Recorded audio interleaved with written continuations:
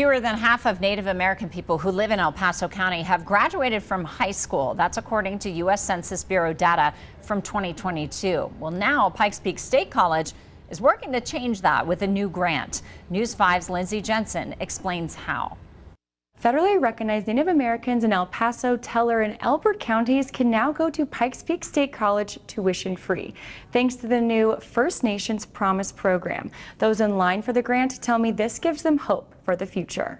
Education on the reservation, even just to graduate high school, in itself is a challenge. Wynona Tsosie plans to be the first in her family to receive a bachelor's degree. She hopes this program eliminates the financial barriers other Native people have faced trying to get a higher education. Not only will it bring, feel like we'll come out of the shadows, but it would encourage us more to come to school and help us out in whatever um, dream or goal we're trying to achieve. Pikes Peak State College leaders say about 100 Native American students are enrolled right now.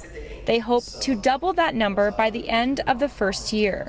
The Dakota Foundation committed $250,000 over the next five years to help this successful initiative continue and ideally expand. As a means of providing support, we understand that it's really important for there to be meaningful community Native community here on campus. Wynona tells me finishing her degree without this program could be delayed. Probably adding on, I would say maybe another two, three years because the cost of tuition has gone up. Thanks to this program, she can bring her cybersecurity degree back to better her tribe sooner. It's like, where can I make the greatest impact? Where can I make my mark in this world?